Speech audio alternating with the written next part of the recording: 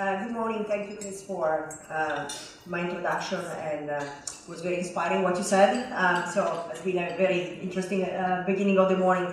Um, so I'm Maria Francesca Carli. I am a, a graduate from uh, Sloan, uh, class of 1992, and I'm very pleased to be part of this conference today. As Chris said, um, a number of us got together in 2014 at a breakfast in Midtown I was part of that uh, uh, small group at that point in time. And I think that group could have now got together without uh, Kathleen Callell. Kathleen, can you please? Uh, um, Kathleen has been really inspiring us and has been the emotion and the motor and the person that really pushed us forward to get today, 2017. Um, was there, Donna did help us a lot, and, and Pam today helped us to really get the conference uh, um, organized, and obviously Chris. So, um, and I would say that Dave, um, who's not here today, but has been, uh, in my view, extremely supportive uh, of what has been done in New York and, and throughout these three years to get to today. Um, so since then, we had the vision of doing something that was global, was not, not, not just New York and uh, that became reality. So I hope that this is just an inspiration to do same things uh, on a regional basis uh, going forward. Um, so I have the privilege to kick off today, um, and uh, the first session is a fire chat um, with Martha Samuelson, uh, moderated by Antoinette Schoar, um, in which we will hear about the company culture at Analysis Group. Um, analysis Group, where uh, there is empowerment of independence and commitment to values across the organization. Their flat organizational structure is consensus-based and does not rely on schemes or mechanisms. As we, many of us know, Antoinette Schoar is the Michael Koerner Professor of Entrepreneurship and Professor of Finance at the MIT Sloan School of Management and the outgoing chair of the MIT Sloan Finance Department. She holds a PhD in economics from the University of Chicago and an undergraduate degree from the University of Cologne in Germany. Her research interests span from entrepreneurship and financing of small businesses in emerging markets to household finance and intermediation in retail financial markets. She received several awards, including the Brattle Prize for Best Paper in the Journal of Finance and the Kauffman Prize Medal for Distinguished Research in Entrepreneurship in 2009. She's also the co-founder of Ideas 42, a non-profit organization that uses insights for behavioral economics and psychology to solve social, social problems. Please join me in welcoming Antoinette to this stage.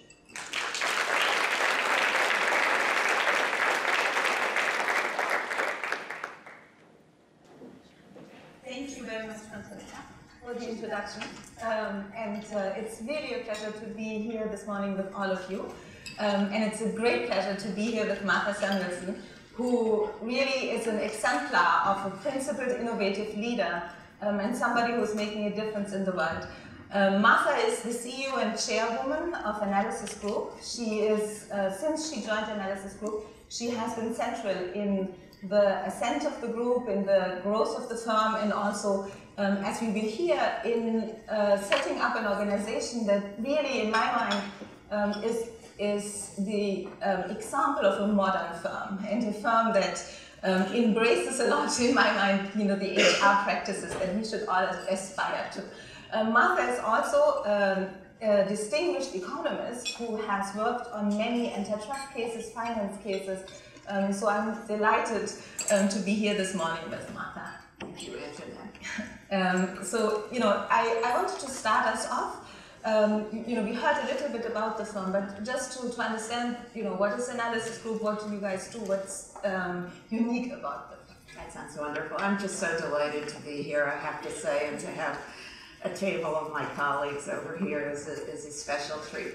So I, I I think many of you were at this wonderful dinner that uh, Fiona and uh, some number of Sloan alums spoke at yesterday, and I thought it was terrific, and it was sort of bursts of inspiration.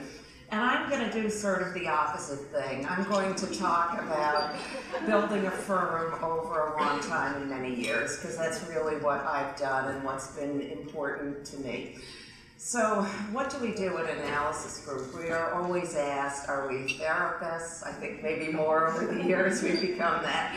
But we're a group of economists, finance experts, statisticians, and what we do is quantitative work for businesses. Often it's in the context of a litigation, so we do a lot of work supporting experts in major litigations in antitrust and finance and healthcare. And then we have a big healthcare practice at our firm where we use a whole range of quantitative tools to um, uh, add value to the clients. So some of the cases we've worked on in the last couple of years, just to give you an idea of what types of things we do. I worked um, for the Department of Justice last year. They were evaluating whether to let Anthem and Cigna, the number two and the number three health insurance companies in the country, merge. Well, healthcare is 20% of the GDP. It's a very big deal to think about do you want those two firms to consolidate and what's that going to mean for prices to consumers. So that's one type of case that we work on. I also worked on something totally different, which was really fun, which was the smartphone wars. And we worked for Samsung, and in that case, Samsung, Apple uh, claimed that Samsung had infringed some of their patents, and they probably had, but they were very precise and focused, and so it was slide to unlock implemented by going from left to right.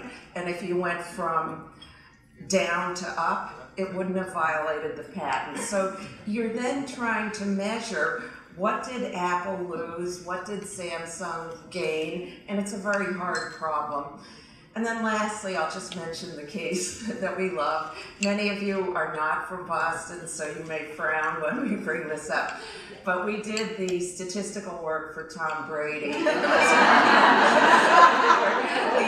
NFL, it really was a physics question. It was a question of what happens when you take footballs in from the cold to warm air. And so we had the refrigerators and analysis rooms were filled with footballs. We just kept finding footballs on them. We'd bring them in, we'd take them out, we'd measure them. But Ted Snyder at uh, Yale testified at Tom Brady's hearing, and of course none of it mattered at all, as it turned out, because it was decided as a matter of law. But that, those are the kinds of things we work on. And I also just wanted to give those examples because they're really important to a lot of stakeholders. So those are projects where the uh, they're lawyers who care a lot about the outcomes. Sometimes they're regulators. There are ultimate clients, and there's the internal team. And so there are a lot of people doing a lot of work in that's fascinating and very sort of high stress and challenging uh, uh, work conditions. Right. This is actually interesting, right? From an organizational economics perspective or from a management perspective, um, what you're describing is a very complex interaction between many different yeah. stakeholders. Can you talk a bit more about how you actually translate these very interesting activities into a business, business model, right? So this is where I will say again, I think we have a very old-fashioned business model, and it's really a sort of brick by brick business model. It's a model where we try to do terrific work for the clients.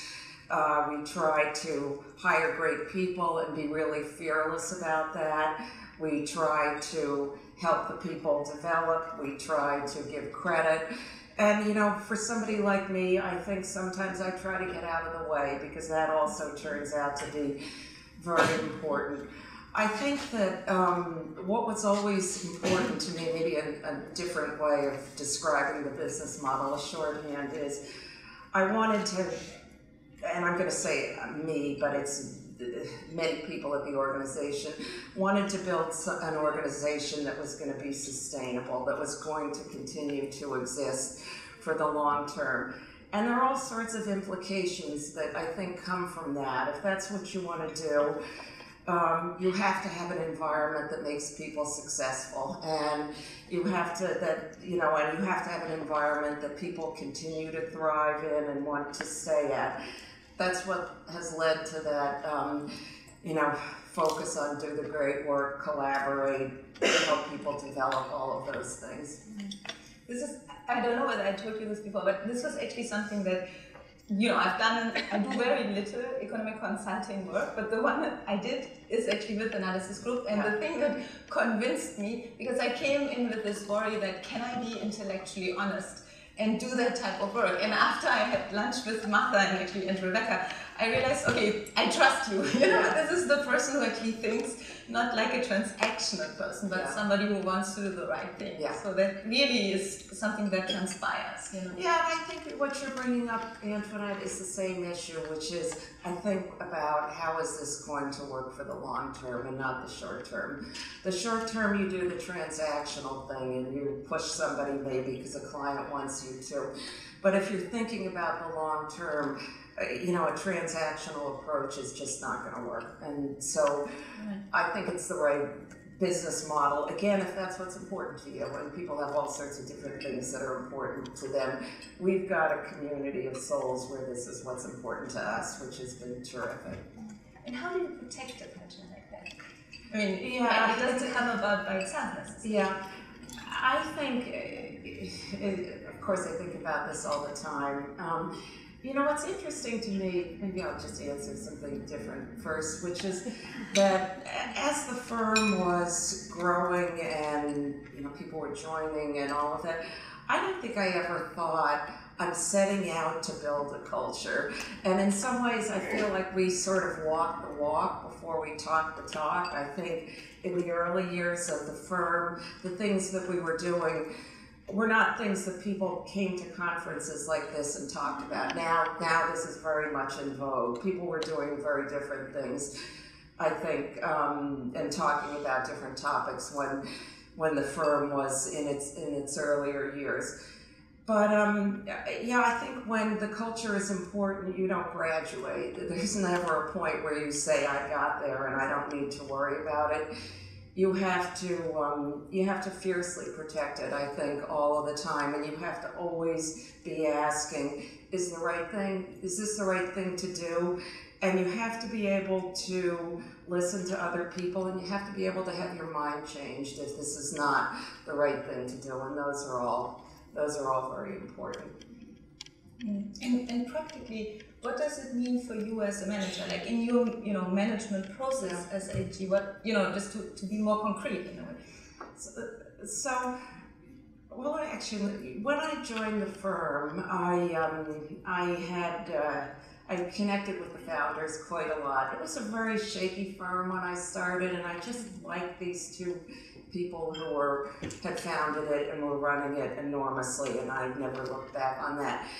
But very early in my time at the firm, there I had a disagreement with one of the founders. He wanted to. We have one P and L for the entire organization. We don't have formulas. We don't have sales credits, or we run the firm in a very squishy way. It's a surprising way, I think, for a group of economists. We measure everything outside of the firm and nothing inside the firm. And I think that we think that that model grows the pie enough so that the allocation problems don't don't really exist. And we think that's why we've been so successful. But so very early on the bruce Stangle who founded the firm thought maybe we should split into little business units and that would be uh, help us be more successful. And i really didn't want to do that. I'd been at a firm that worked that way before and i thought you know it's just it, it, it, people it's just not collaborative. It wasn't for me. And so we disagreed about it, and Bruce said, let's go off and meet with this fellow, Chris Argyris, who was a very senior organizational behavior person, was at the time at Harvard. And I thought, Bruce is just taking me to go, we're, we're introducing a stranger, so another person will be there to tell me why I'm wrong. It just hadn't crossed my mind that there was a different goal than that. And we went in to see Chris Argyris, and he said, You know, I think she's right about this. And we talked and we talked, and that became something we very regularly did. But it left such a mark on me, such an impression on me. Bruce founded the company. He was senior to me, and he was willing to embark on a process where, over and over again, with all sorts of decisions, where the hierarchy was moved off to the side, and we tried to figure out here are two very well-intentioned people, and why are they disagreeing about something, and what's how can we resolve that? That's left a huge mark on me, and it's something we have organizational coaches that we use all the time in the in the firm. We have 360 reviews all the time. We have lots of upward feedback. Um, a review process. We're just starting it now for uh, the end of this year. It's, it's so time consuming and I think it's so productive. It's so important to to the organization. But you know, again, so from the very beginning, I saw it. It was a model for me. There's a way to uh, collaborate with people that isn't just who gets to make the decision. It's how do you make the best decision, and it, it's left a huge mark on me. And it sounds you're translating that relation, that experience at many levels in the organization. I, I feel like we are. And you know, again, we've, we're 850 people now. And so it's aspirational. We don't do it all correctly all of the time. We can't. But I think, you know, the door is open. And if something seems like it isn't working right, uh, we're constantly encouraging people. We have a something we say, which is the only dumb question is the one that doesn't get asked, and we feel really strongly about that. Both both with the substantive work and with the you know why are these why, why am I getting why am I getting treated this way? Why am I working on something in some way that's making me uncomfortable? Mm-hmm. But if you think, right, I mean, it sounds, and you describe it, it sounds like the natural thing to do, but it's not how most companies work. Yeah. So I wonder, do you have a, you know, an opinion on why it works so well for AG, or you know, what is it that, um, you know, that made it possible?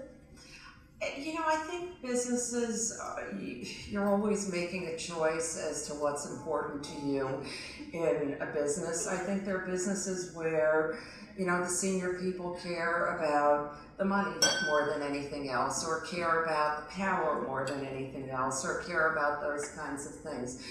For me, um, being in an environment, it's funny when I, probably uh, in the late 90s, the competitors from our firm started to go public. They're probably, it's a very weird business we're in. There are probably six businesses in the country that are like analysis group that are very large, and then lots of little, you know, professors and a couple of graduate students kinds of things. And um, a number of the firms started to go public, and I was convinced that that was a poor model in the long term for professional services firms because you just shouldn't have outside investors. But those firms raised a lot of money, and I really had a concern about are we going to get to the long term? It's nice to think about it abstractly. And then it's just, I think what, what has been interesting has been, I really do feel like we've got a little bit of a community of souls, and there are people who want different things from their business activities who are doing the same thing that we're doing, but they're just uh, not doing it in the way that we're doing it. And so we've got a group of people who, we certainly have people come and leave. We have people who can't tolerate the amount of time it takes to have a consensus-based culture. We are, you know, I mentioned the review process. The review process is wildly time consuming for all of us because we collect all this feedback, people write self-evaluations, we have meetings and meetings and meetings, and we just iterate and iterate and iterate. And it's, again, it's not about who gets to make the decision, it's about coming to a consensus decision that um, that everybody walks away from uh, feeling happy about. But it's very time consuming. We have sounds like a yeah. process. It is a little bit. And then I there are people who really view um, how a decision gets made as a referendum on their value or their, they get confused, I think, about the way to make a decision ought to be let's figure out what's the right decision. And if it's not stick, sitting right let's come back and let's figure out what's not right about it. Some people don't feel that way. Some people feel like who gets to make the decision is a statement of who is valuable uh, in an organization and if they come to our organization and sometimes they do they leave because it's just not for them And It's interesting, right? It's a, it, a strategy in action. The strategy of being able also to say what you don't want, right? And you lose Yeah. something. Well, Yes, right? yes. But but it protects something else. It. it protects something that's very important and you know we have a we have a little bit of a marketplace test running as well because the firm has really grown and thrived over the years so Mm. uh, there, there are enough of us who, who want this and, and, and that's a good thing judy and i were talking about this yesterday evening at dinner and um, I said to her, I feel, I've always felt this way, but this is the way I wanted to have my business life evolve. I spend a ton of time at work. I want to feel like my colleagues have my back. I want to feel like, you know, all of that. I want to feel like I can ask their advice and trust that it's not about them, it's about what's the right advice. But I said to Judy, I feel that more right now, and I think we're not going to go the politics route, but it's impossible not to be, you know, unless you're living in a tunnel with headphones on. it's impossible not to be aware, whatever your politics are, that it's a very polarized and negative time in the country, in the world. I feel for me even more that the firm is a bit of an oasis and a place where people are really trying to do the right thing for others and not just like what's in it for me.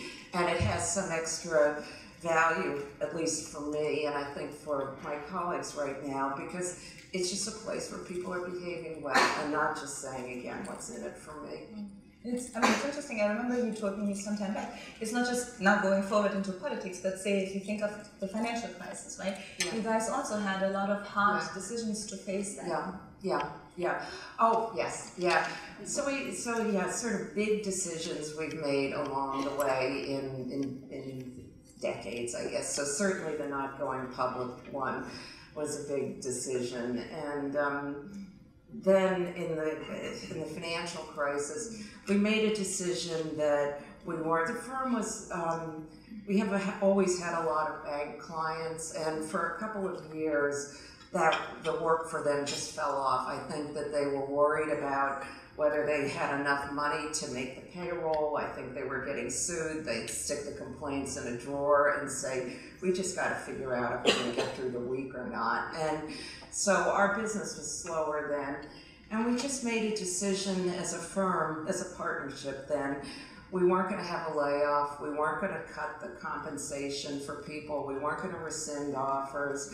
And that the partners were going to absorb the um, uh, downturn. And it just, because it just felt like we were the right people to do that. And, but again, yeah, it was, again, that's a decision about the long term. I think if you go back to thinking about what's going to make the firm sustainable over the long term, uh, way past when you know I'm in the seat or whatever. It's got to be that you make those kind of decisions and you, um, you know, you invest in the people who are going to be the future. So you know, you, you said you know you spent a lot of time at work. You want work to be a place that you like, right? Yeah. But at the same time, I can imagine that starting from a partnership where you're very involved also in the day-to-day work, Yeah. right, and the, the casework and so on, and then running an organization with 800 plus employees is is a journey, and it probably changes, obviously. Yeah. But it changes your day-to-day work. Can Yeah. you talk a bit about how you know that transition has been for you? Yeah. You know, it's funny, when I brought in the executive coach that I've been working with for the last 10 years, that really was the topic that we spent an awful lot of time on. At the beginning, for me, all I needed to do was sell a ton of work and run great cases, and I could just be a role model doing that. And the partnership wasn't very big, and that, that worked fine it's very different for me right now. I can't, and I, I miss the casework, and I'm grateful for the colleagues who make it possible for me to stay involved in the casework kind of as a, a senior consultant almost to it because, you know, the most important thing I do is run the partnership and help people become partners. That's that's what my job is, and that has ended up being extremely time consuming for me. And you know, speaking at conferences like this, I do I do a lot of this. I think it's really important, and it's important for the firm. It's important for me um, to do, but it's different, and I, I definitely miss. The casework is fascinating, and I, I miss the amount I could be involved with it before. Do you feel that, as I mean, obviously, you know, in this room, I have to think of this, but you feel that as a woman CEO, you are asked in a way to do more of the development, of the mentoring, Yeah. of the, you know, um, personal engagement than you know if you were not a woman. Um, now, of course, there might also be that you want to do more of it, but Yeah. but the expectations might also be different, right? So I, uh, you'll be surprised to know I've thought about this. I know everyone in the room is going to be surprised to hear this. So I think for many of you, the issues of being a uh, senior woman professional are going to be different than they at least began for me. I think you're going to be navigating politics and successful institutions. I think you're going to be looking for mentors. I think you're going to be looking for flexibility and, and, and trying to navigate all of that. So when I came to my firm, it was not a successful institution. Again, there were wonderful people who I was willing to make a bet on. But the senior people thought I was going to be good at selling work, and that turned out to be they, they didn't quite have the luxury of being sexist at that particular point in time because they were worried about work. We just didn't have enough business in the firm, and so that was kind of my early track. Uh, they helped me get to be good at, at selling work, and they kind of had to keep me around because I could do something that was very important um, in the organization. So I thought a lot about this issue, the women issue, particularly over the last couple of years. Again, because my track was different, so I just didn't have kind of, I think, some of the overt sexism that some of you will, or the absence of mentors or whatever that some of you will have run into, because it just wasn't an option at my firm. But it's funny to me, eh, over the last few years, watching the senior women in my organization, our organization, who I admire so much. I think it is different being a woman. I think that um, we have immense, you know, resources and empathy, emotional IQ skills, EQ skills, whatever. And I think often we do have more of them than men. I think there's also sort of a, you know, a dark side to that. I had a case recently where uh, uh, there was a very senior woman and two very senior men working on it. And the case, the client demands just blew up. We thought we were going to be responding to one report, and we ended up responding to eight reports. The lawyers were over, all different, the lawyers were overwhelmed. It was just way too much, and the work conditions were not what any of us wanted them to be for some period of time. So the senior woman came into my office when they finally caught her. She burst into tears and she said, People are going to say I treat my teams terribly. Two senior men came into my office and said, they said, People are going to be so proud of what we've accomplished here. you know, and they turned out to be right. That's what was interesting to me. And I spent a lot of time with this um, younger partner who I just admired tremendously. A Sloan graduate too, let me just actually say the obvious. um, and I said to her, you know, whenever you start to say to yourself, people are going to say, ask yourself the question, do you believe that you're a person who abuses your team? People are going to say, is a, it just is a way and I do think more women use that language, and it's a way of being harsh on yourself. And where you say, I, I, it's not necessarily what I people are going to say it. And, you know, so I think we have uh, immense resources as women we can bring to management, and I think uh, we should be less hard on ourselves, and it doesn't come easily to lots of us. It's true. It's probably also true, right, that we are so trained to endogenize Yeah. what the world thinks, Yeah. right, that it becomes second nature. Yeah. And in some cases, it's probably to be. I mean, to be fair, it's also probably true that the world views a woman imposing a lot of work on their teams slightly differently than a man, right? It's, you see this in the classroom sometimes too, and it, I mean, it's changing over time, Yeah. and it's all of you, right, being role models in a very diverse world really helps, right? I, I mean, when I was when I started at Sloan, we were the first. I was well, me plus two of my colleagues were the first three women hired in finance ever. Um, and you know, I really remember we had this guy from the New York Times come and say, "How can you handle being here?" but but the but you know the thing he didn't notice is that because we didn't have enough room, we were shipped off into a separate building, and I thought were You were the women's we in the women's. Oh, You didn't notice that part, which obviously was not the Yeah. case. But what really helped us was the fact that we were three extremely diverse women, right? Yeah. So it was a bit like you said, there was maybe not the luxury, but, but there was no chance to say, oh, she's behaving like a woman because you couldn't have picked three more different women. They couldn't try to between the three of us, right? funny. And so that really helped Yeah. because right, there was no stereotype to have. Yeah. right? Yeah.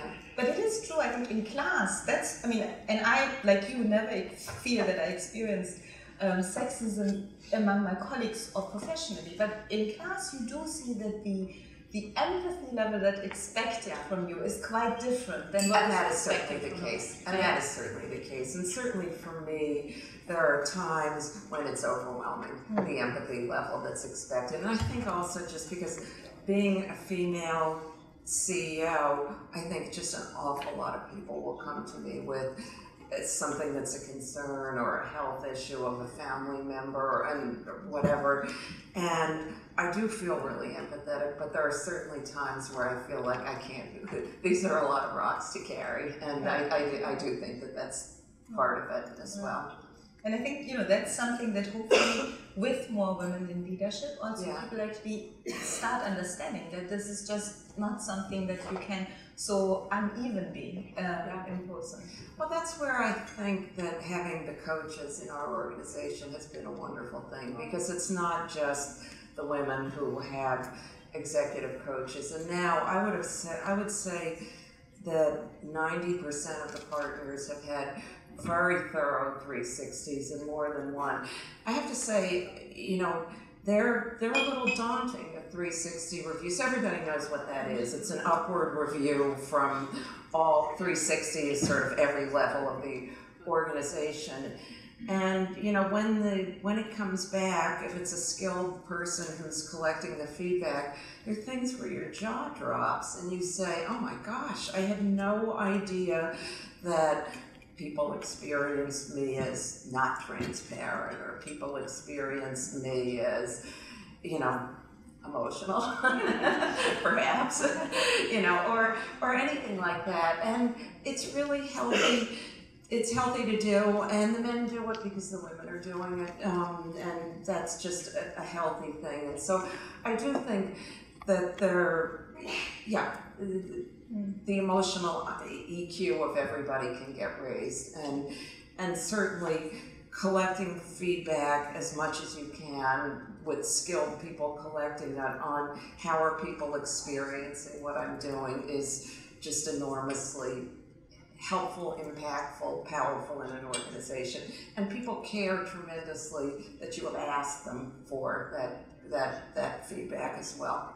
But it has to be, I mean, I imagine that in a modern workforce and in a very high human capital workforce Yeah. like you have, that's probably true, you know, across the board, not just for the women, for the men too, right? I mean, in a more Yeah. modern work environment and, and family environment too, Yeah. I guess um, I would hope that those things are not just women issues anymore. Yeah, I think that's right. And uh, as I said, we have one P and L for the entire firm, and what that means is nobody has a dedicated team working for them. So, you know, there's an internal labor market, and we had a difficult person at the firm a couple of years ago who people really didn't want to work with, and that ended up being a problem for that person. And she left, and I think to some extent she left over that. And so, you know, in a firm that's organized the way our firm is organized, it's not just the that you'll get feedback and you'll hear uh, you are being too abrasive or you need to listen better, whatever. But people won't be willing to work for you. And the stars in particular at our organization have a lot of options in terms of who they decide they want to work with, and that that that market means something. Um, so even that is a structure, a, a way of running the firm that I think is conducive to encouraging good behavior from people.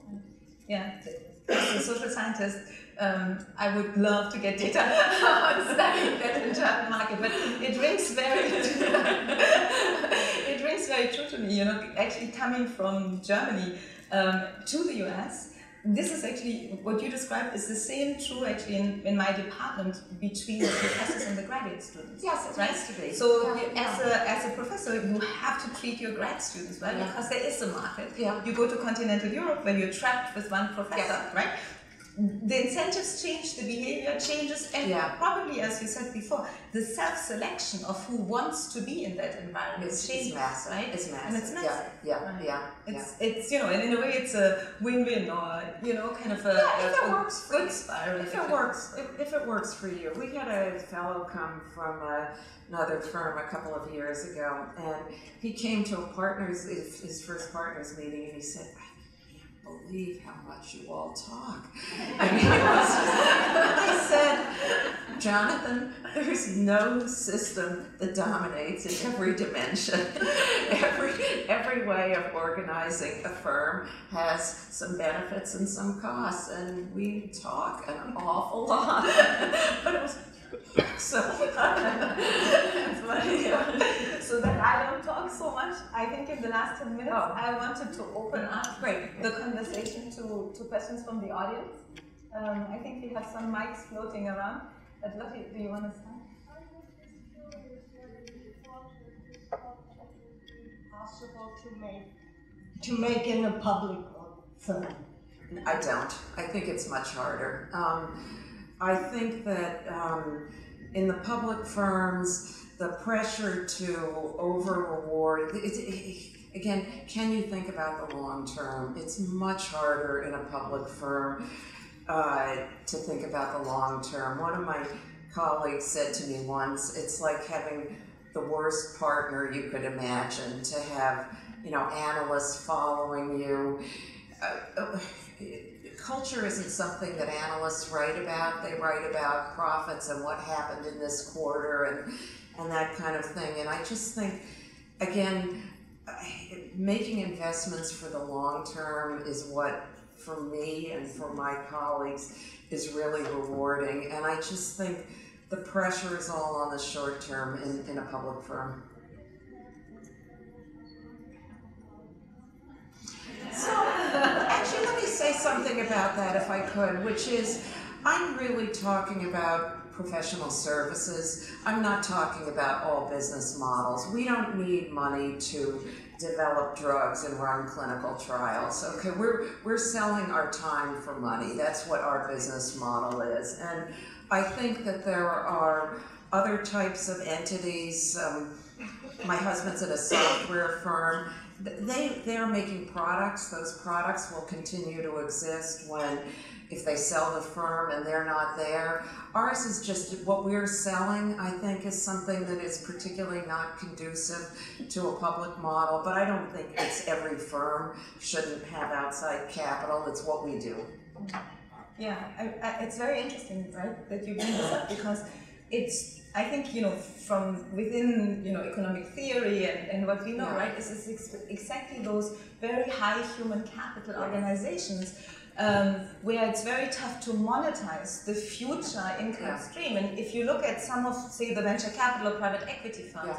that went public, right? Ultimately, what did they do? They monetized the future Sure. income Yeah, that's what- what- their employees. That's what you're doing. Right? That's And you're what you are in a way, you can say you are generous by not trying to do that, right? Like you, Yeah. Martha, taking, you know, away the carried interest Right. of your future partners, right? But it also means that you're not endangering the firm because, of course, if the partners in the future don't have, you know, kind of a stake in the firm because somebody else went public with Yeah. that already, right? It will create negative incentives. That's that's what I think, and you know, for me, when when the firms were going public, it really was scary, and we had people we were talking to. I remember a couple of professors out in California that I was working with, and they took money from a competitor and went and joined them, and we had this squishy trust-based culture, and that was the thing that we were uh, investing in.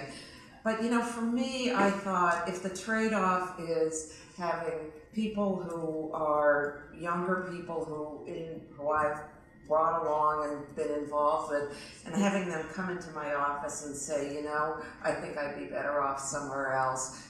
Not worth it to me in a minute. You know, it's just sort of those are, and again, that's where you decide what matters to you. I respect that other people view what's important to them differently than I view it. But for me, if the trade-off is some extra dollar compared to people leaving who I care about, it's just I wouldn't think twice about it.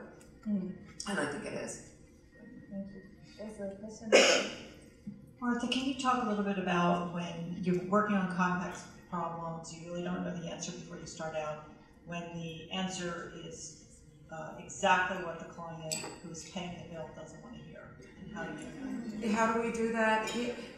That's a really good question. All right, so our, our, our cases tend to be complicated enough that um, often there's something we can do that will be helpful to the client, but sometimes we just go back with bad news. I mean, I think, I view us sort of as a medical professional in the sense of it's not useful if someone comes into your office who is sick and you tell them that they're fine.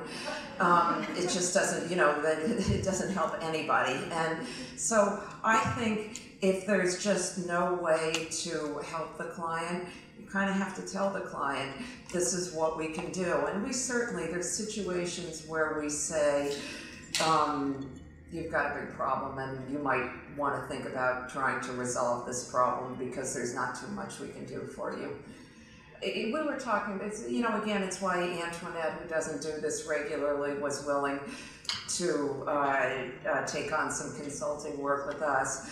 I would never ask uh, somebody, an academic or somebody who works with us, to put to, to say something that they didn't believe. So if the choice is tell the client there's a problem or pretend there isn't a problem, involve other stakeholders in pretending there isn't a problem, um, I wouldn't think twice about it. I thought you were going to ask a different question too, though, which sort of comes along with this, which is, are there things we won't do? And again, I think in our organization, it's, it's, it's actually one way I benchmark us against some of the competitors because there are some where when we say no, then the competitor shows up. And it will be types of cases, so we won't do health tobacco cases, we don't do gun cases, we don't do, um, oh my God, asked for some horrible Swiss gold case and we, can, you can imagine what that was. And, um, we wouldn't do it. There's, so there are lots of things, but there are also, as the cases evolve, there are choices, and we will often come back to the client and really negotiate between the client and the academic as to what's okay to say and what's not okay to say. The client can put a lot of pressure on us, and it's just no one's interests are served by going beyond what, what's okay to say. Uh, I was curious, uh, private capital structures create certain kinds of problems that you described, Yeah. but private capital structures create different kinds of problems. Uh, I was just curious your thoughts on private capital structures and maybe lack of transparency and what, what you see as, um, some of the issues there, either for your firm or others. Yeah. Um, so I don't know if you're asking about how do we transfer the ownership in a private firm? Uh, Sam, uh, you know, you're required to partner private companies, you may or may not. Yeah, yeah.